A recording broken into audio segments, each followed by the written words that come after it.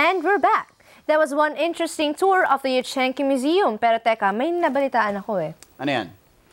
Ikaw daw ay na-awestruck sa next museum na pinuntahan ng tribe. That's true, pero aba, you have to watch it to find out why.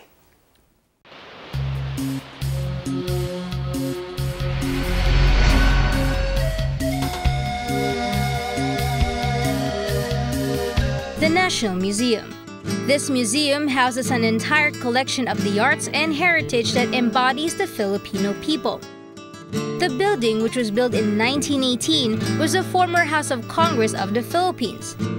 The museum is home to the various arts of the Philippines, and this includes the work of master artist Juan Luna de Spoliarium. This painting was submitted by Luna to the Exposición Nacional de Bellas Artes in 1886, garnered a gold medal. The painting depicts a scene during the Roman period where gladiators were dragged from the arena. Also in the room is the painting of Felix Hidalgo's The Assassination of Gobernador Bustamante, which hangs across Luna's Spoliarium. Also on the same floor as the Spoliarium is the room devoted entirely to the national artist in visual arts. This room contains sculptures and paintings that use different mediums.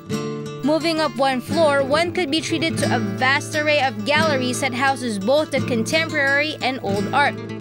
This floor also contains a room where skeletal and fossil remains of various land and aquatic animals.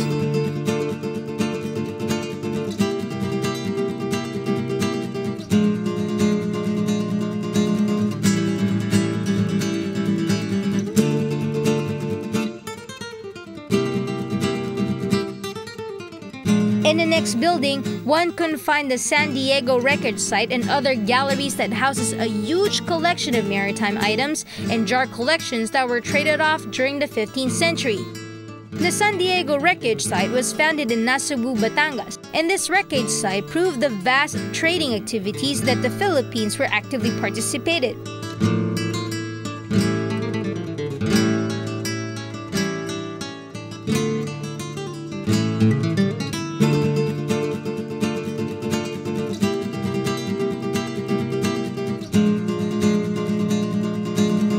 One floor up, and one will be treated to how our Filipino ancestors used to live and the way most of our countrymen are living now.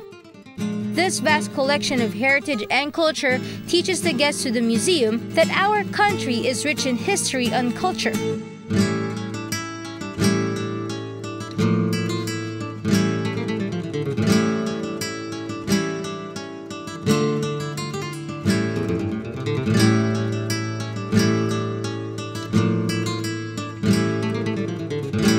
The last stop on our museum tour is the room that contains the various stones used in the early prehistoric period.